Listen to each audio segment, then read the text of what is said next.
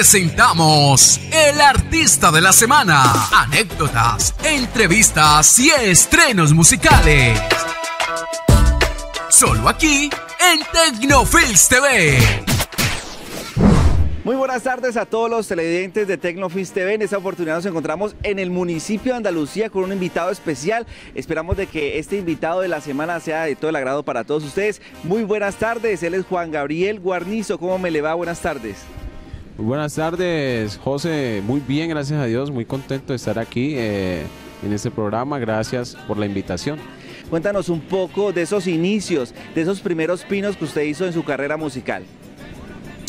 Bueno, los primeros pinos los dimos eh, en la orquesta Furia Latina, en, el municipio de Bugalagrande, mi municipio, eh, bajo la dirección del maestro Miguel Ángel Martínez. ¿no? Él fue el primero que me dio la oportunidad para empezar esta aventura del medio artístico, de, cantar. Inicié ahí cantando.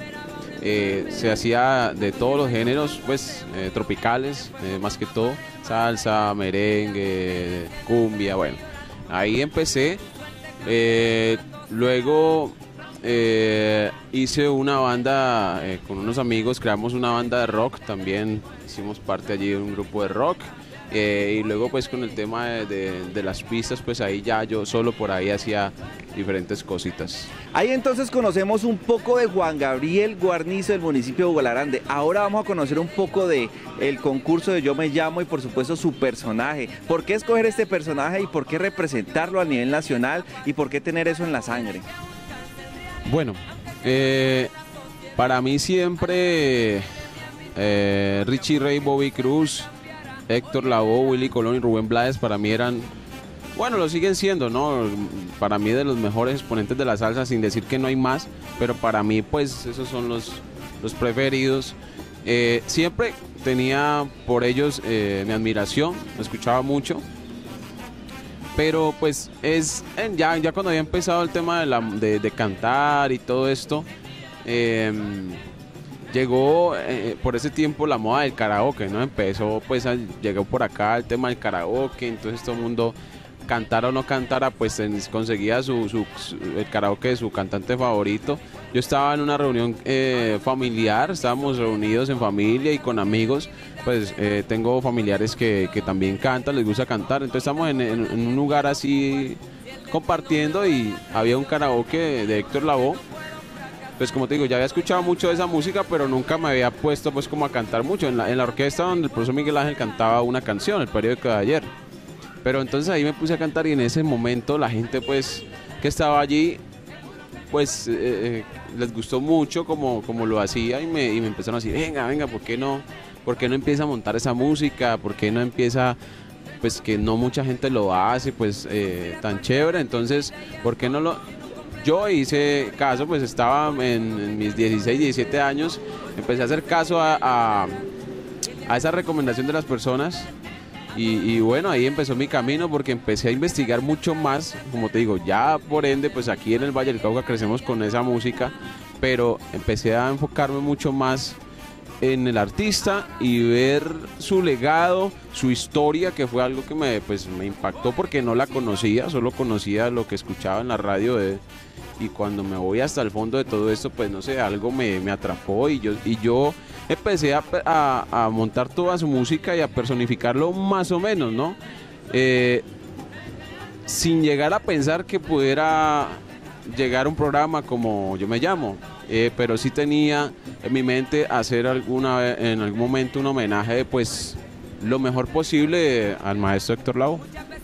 Bueno, en ese transcurso de trabajo, por supuesto, ese apoyo de los bugalagrandeños, sus familiares, ¿cómo fue ese concurso en, el, en, Yo Me Llamo como tal? ¿Cómo fue esa experiencia? Cuéntanos un poco de ese resumen rápidamente, por supuesto, eh, a ver qué nos puede comentar a los televidentes.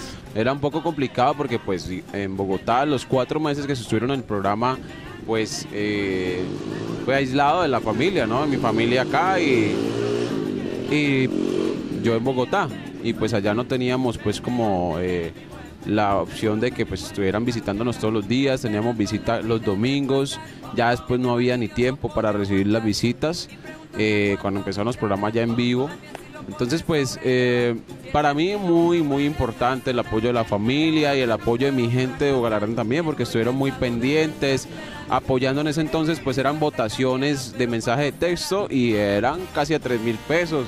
Y eso eh, a, tocar los bolsillos de la, de la comunidad, pero la gente lo hacía con el, con el corazón, se unió mucho el municipio. Eh, muy bonito porque pues uno estaba allá y uno se daba cuenta de eso y era algo maravilloso, ¿no? El saber que la gente estaba unida, se reunía en el parque, que todo el mundo hacía actividades para, para, para recoger y meter votos. Era, era muy bonito eh, ese, ese tema. Eh, inclusive hay una anécdota muy especial de una niña que bueno, ya de ese tiempo acá, pues ya han pasado, fue año 2012, ¿no? Hay una niña que me comentaban que pues cogió el teléfono a sus padres y cuando les llegó la factura, mejor dicho.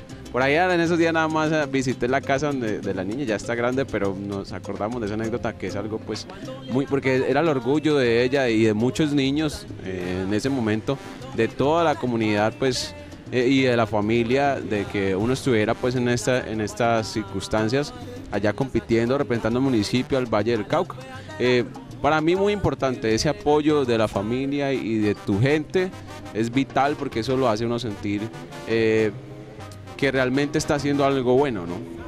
Cuéntanos un poco de esos trabajos musicales que ha hecho usted durante todo este tiempo. Ya sabemos que de Yo Me Llamo fue en el 2012 y ya estamos en el 2019. ¿Cómo ha sido ese trabajo musical, esa carrera artística en estos momentos?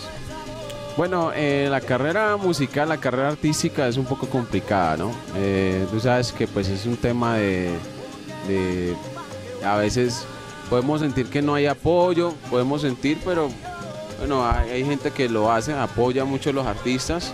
Eh, de todas maneras, esto es de trabajar uno también, porque no podemos decir, no, es que es porque no nos apoyan, es porque no. A todo hay que meterle la mano, hay que meterle eh, las ganas y pues hay que persistir, ¿no? Hasta, hasta que llegue el punto donde, donde, donde llegue, pues, hasta que llegue ese momento en que explotamos ya. Eh, de allá acá, bueno, eh, hice dos, sencillos, dos canciones con el maestro Leo Aguirre. Por ahí hay una de ellas que todavía por ahí está. Pues, de hecho, hace poco me enteré que por ahí anda sonando. Y pues no le hicimos la promoción como tal, pero por ahí anda sonando. No le hicimos videoclip ni nada. Y pues mucha gente ve y dice, ¿por qué no le ha hecho videoclip? Pues cosas que pasan y uno dejé las canciones allí. Ellas por ahí han sonado el año pasado, eh, bueno, hace dos años, hicimos lanzamiento junto con la orquesta Sonido 70. Hicimos lanzamiento de un álbum que llamó Suelta las Armas, salió en vinilo y en CD. Eh, se hizo el lanzamiento de Leyendas Vivas de, eh, la salsa en Medellín. Por ahí hay unas canciones sonando de eso. El proyecto Sonido 70 cambió, se cambió el nombre, cambiaron algunas cosas. Ahorita llama la orquesta La Potente. Estamos lanzando un nuevo álbum ya sale Orquesta La Potente Canta Guarnizo. Estamos promocionando una canción que se llama Guaguancopa Las Feas. Estamos eh, estrenando el videoclip. Ya dentro de poco sale otro videoclip de una canción titulada Por tu Caminar. Y ahí vamos. Em, dentro de poco, como este álbum ah, tuvo algunos inconvenientes para salir y se, demoró en salir, ya dentro de poco sale el siguiente álbum, que también sale en vinilo, en CD. Eh, y vamos a hacer el lanzamiento en Medellín ahorita el 27 de marzo y el 30 de marzo. Juan Gabriel en esa oportunidad nos acompañó en el Artista de la Semana. Muchas gracias, hombre, por participar con nosotros. Las puertas de Tecnofins TV están abiertas. Cualquier lanzamiento promoción que tenga, por supuesto, acá contará con nosotros. Despídase de su público maravilloso que en estos momentos lo están viendo y, por supuesto, todos los bugolagrandeños que están conectados con nosotros. Bueno, amigos, eh, les saludo a su amigo Guarnizo. Eh, muchísimas gracias por el apoyo que siempre me han brindado mi gente de Grande y la gente también de Lucía, Tuluá, que siempre me demuestran todo el cariño. De verdad que eh, muy agradecido siempre. No tengo más palabras para todos ustedes más que darles gracias, darle gracias a Dios y a Tecnofilms por esta invitación. De verdad que muchísimas gracias y bueno, esperamos volver por aquí, volver por acá y estar vacilando aquí con la salsa, el maestro Héctor Lavoe y de Guarnizo. Así es, mis amigos, en esa oportunidad nos despedimos desde el municipio de Andalucía. Recuerde, si usted es un artista local, regional, nacional e internacional, puede estar acá con nosotros, por supuesto, para que nos cuente un poco de sus anécdotas, sus entrevistas, por supuesto, eh, en diferentes partes del mundo y además de eso, sus promociones musicales. Recuerde que esto es un espacio de Tecnofis TV. Esperamos de que estén conectados para la próxima semana. Desde el municipio de Andalucía nos despedimos con gente de Uga la Grande. Sábados, desde las 3 y 30 de la tarde, conéctate con Tecnofils TV, el programa que te trae variedad y entretenimiento a tu pantalla. Porque estamos aquí, allí y en todas partes.